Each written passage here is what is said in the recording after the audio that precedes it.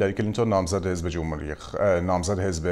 دموکرات در انتخابات ریاست جمهوری آمریکا روز جمعه در دو میتینگ انتخاباتی در جنوب شرقی فلوریدا شرکت کرد تا پیش از اولین مناظره رقبای دو حزب جمهوریخواه و دموکرات در روز دوشنبه ساکنان ایالت فلوریدا در کل تمایل بیشتری به دونالد ترامپ نامزد حزب جمهوریخواه نشان دادند اما بر اساس نظرسنجی میسن دیکسون هم‌اکنون خانم کلینتون در آن ایالت حساس چهار درصد پیش افتاده است. در همین حال اقدام بی سابقه آقای ترامپ در سرگاه روز پنجشنبه در ارسال چند توییت در مورد آلیسیا ماچادو یکی کسانی که چند سال پیش در مسابقه ملکه زیبایی برنده شده بود هنوز در رأس خبرهاست اشکان سلطانی و گزارشی در این باره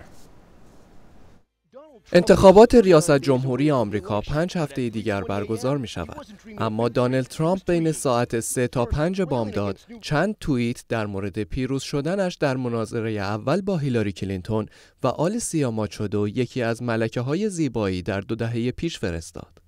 18 سال پیش آقای ترامپ آشکارا خانم ماچادو را به اضافه وزن متهم کرده بود و خانم کلینتون نیز با ذکر این مورد آن را نمونه ای از منش و کردار دانلد ترامپ در مورد خانم ها و عدم تعادل روانی او دانست.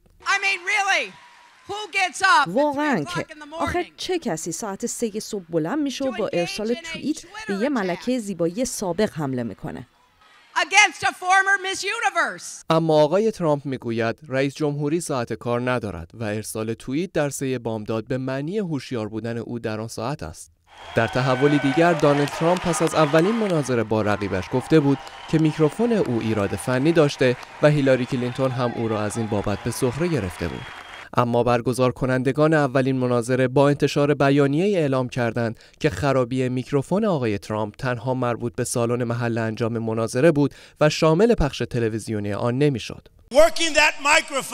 کار کردن با اون میکروفون خراب خیلی بدتر از مناظره با اون هیلری متقلب بود. 37 روز مانده به انتخابات ریاست جمهوری آمریکا، دانلد ترامپ پخش اولین تبلیغ تلویزیونی سراسریش را که تم آن حمایت از زن و خانواده است، آغاز کرده است. اشکان سلطانی، صدای آمریکا